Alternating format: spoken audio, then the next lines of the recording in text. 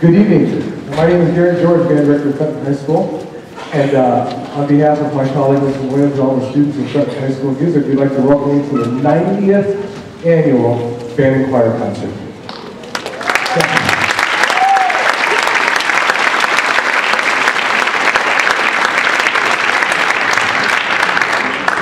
We, thought it would be appropriate, since this is kind of a significant uh, anniversary, to feature Fenton High School alumni.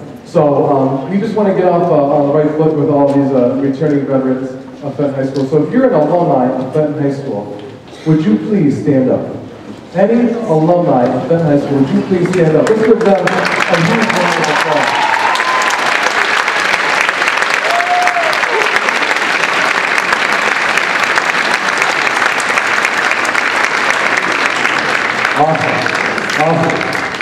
So, we've got a great program for you, lots of bands and choirs, lots of alumni being uh. So, um, it, it's, uh, without further ado, we want to welcome to the stage um, a colleague of, of mine, a colleague of ours in music education, and uh, a Wooddale native. He went to Wooddale Junior High School and was an alumnus of Fenton High School.